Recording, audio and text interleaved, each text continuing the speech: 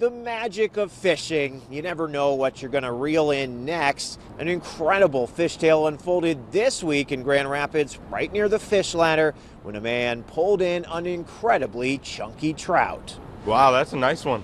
Let's be honest, we've all exaggerated just a bit coming home from a fishing trip.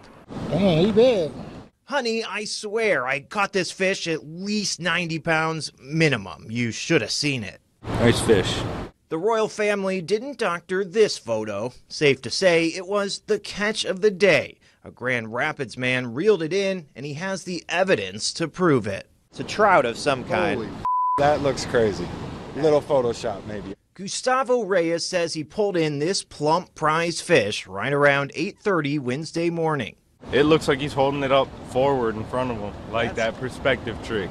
Reyes tells us it took about 10 minutes to reel in the male steelhead trout standing in about three feet of water. You see the fish that big? Uh-uh. While he didn't end up weighing his catch, he did pull out a tape measure. What would you gauge that size at? 34 incher. Close guess there. The fantastical fish measured out to about 35 inches long and 9 inches thick. That's big. It'd be exciting.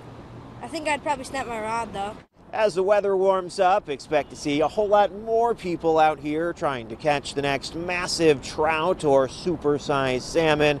For now, though, in downtown Grand Rapids, Michael Martin, Fox 17 News.